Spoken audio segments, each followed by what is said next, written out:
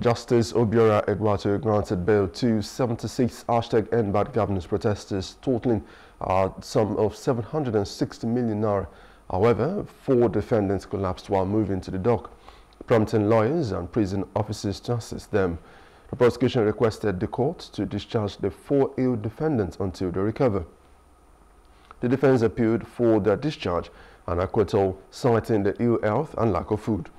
The court discharged the four sick defendants uh, holding adults uh, in Kuje Correctional Center until bail terms are met, and minors are also uh, are minors in uh, Borstal Center.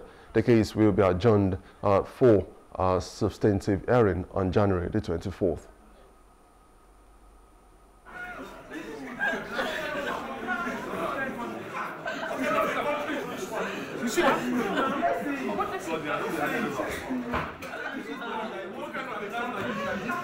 Hello, hope you enjoyed the news. Please do subscribe to our YouTube channel and don't forget to hit the notification button so you get notified about fresh news updates.